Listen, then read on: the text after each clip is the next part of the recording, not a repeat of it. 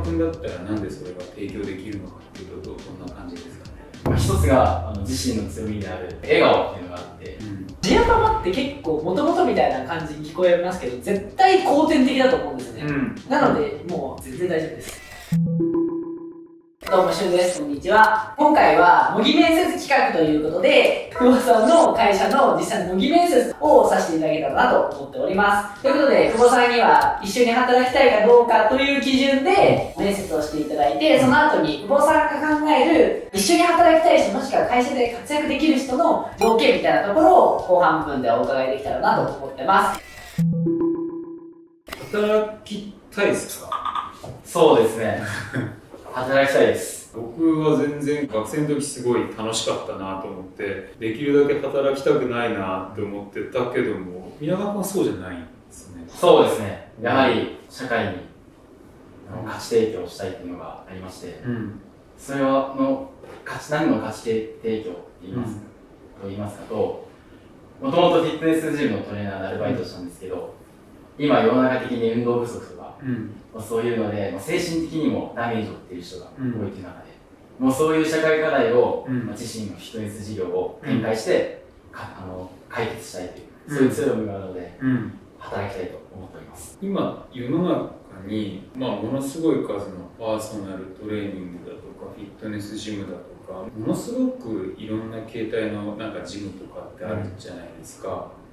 彼らができてなくて皆川君ができそうなことって何ですかね？2つあるんですけど、うん。まあ、1つがあの自身の強みである、うん。笑顔っていうのがあってうん。その笑顔でお客さんが辛い時をうん。最適に励ましてあげたりとか、うん。初めて来る緊張されてる方をほぐしてあげたりとか、まあ、そういう自分の強みを、はい、使っあのは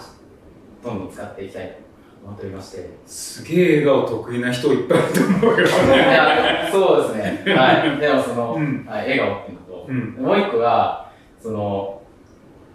私はそのじ僕はあの他の人と違って、うん。店舗型じゃなくて、うん。あの自然豊かな環境の中でうん。あのトレーニングを提供するっていうのをやりたくて、うん。まあ、それは最近本来でもあったんですけど、うん。まあ、人間本来の生活環境っていうのはあのし旧石器代のように、うん。自然周りがもう森林だらけみたいな、うん。まあ、そういうところで生活するべきだ。するべき、あの動物であるっていうか医学的にもそれを証明されていて、まあ、それを踏まえて、まあ、トレーニングでも施設内とかうん。室内とかじゃなくてしっかりとその自然の公園とかうん。あと山奥とか、うん。そういうところであのトレーニングの提供を将来的にはしたいと考えております。どんぐらいまでにそれをやってみたいなあったりするんですか？そのなんか時間軸での目標感とかって。そうですね。一番遅くても20代。はいやろうと思っていて。おおじゃあ今20多分。2歳とか1歳だとするとまあ78年のうちにはっていう。そうですね、うん。はい。一回挑戦したいと考えています。今すぐ始められない理由って何ですか？それは。正直言いますと一番の課題はやっぱり集客っていうポイントがあると思っていて、SNS のフォロワーもまだ少ないですし、んその発信力がある立場じゃないんで。うん。まずはその社会人になって、うん。あのしっかりと人脈を構築してまた僕のファンというか、そういう信頼してくれる人を増やしていって、そこから、まあ、実際にイベントを開催したいなと、はいうん。思っております、人生で一番の後悔って何ですか？今までの人生で。一番の後悔は進路選択の時にうん。幅を狭めてしまっていたっていうことですねうん。高校の先生からもやっぱり日本の大学に行くのが当たり前だとか、うんそこを受験するのが普通みたいな常識があると思うんですけど、なんなんでそこでもっと海外とかアメリカの大学とかうん。中国の大学とかに目を向けなかったんだろうっていう後悔はありますね、そこでの後悔って今のその人生の選択だったりだとか皆川さんの普段の行動にどんな風に生かされてますかね？まあ、自分の意思決定をするときに選択の幅を狭めずにうん。しっかりと調べてうん。こういう選択もあるんだとかいろんな選択の幅地方を増やすうん。ようには日常から、はい、意識しています、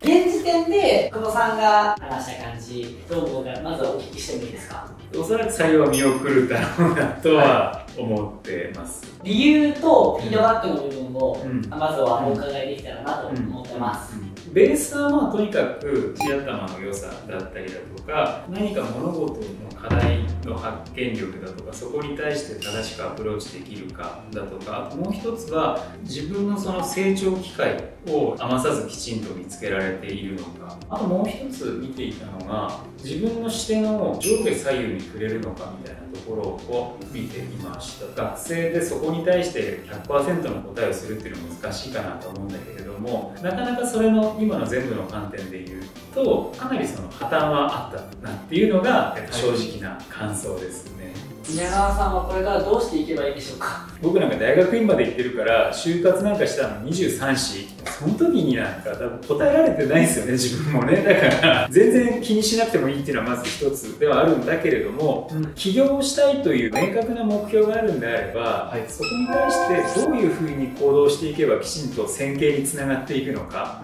まあ、すごく考えた方がいいなっていう感じはしました。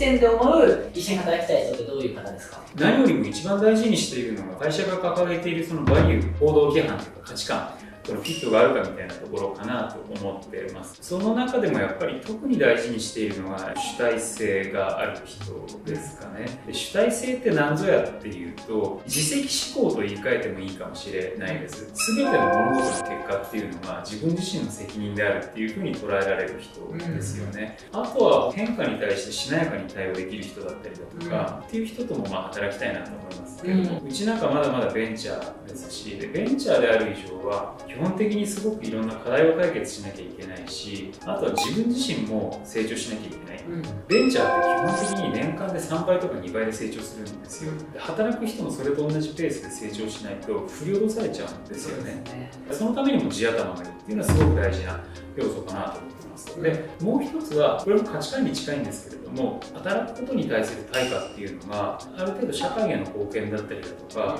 ユーザーへの価値提供みたいな方に向いている人の方が僕はいいな、一緒に働いてて心地いいなって、まあ、その3つぐらいですかね。うん。